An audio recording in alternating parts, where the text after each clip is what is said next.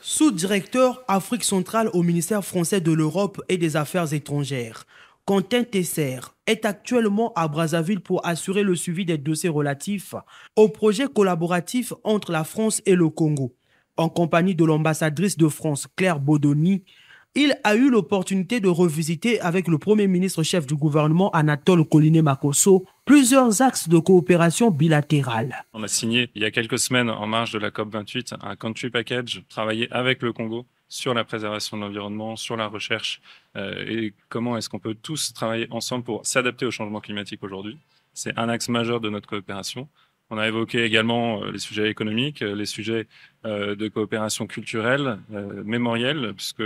les deux présidents souhaitent qu'on puisse travailler ensemble sur la mémoire de Brazzaville, capitale de la France libre. Et donc, on a toute une série de projets aujourd'hui qui sont en train de se lancer sur ce sujet-là. Concernant la question spécifique de l'histoire mémorielle, la France s'emploie à promouvoir le Congo à travers diverses initiatives. On commence à travailler sur euh, la façon dont on pourrait mettre en valeur Brazzaville dans le cadre des commémorations des 80 ans du débarquement en Provence euh, en 1944, où il y avait un certain nombre de combattants qui sont venus euh, du continent africain et qu'on souhaite pouvoir valoriser à cette occasion. Et à plus moyen terme, il y a la rénovation du CEFRAD qui a accueilli euh, la conférence de Brazzaville en 1944 pour mettre en valeur euh, les différents lieux de, la résistance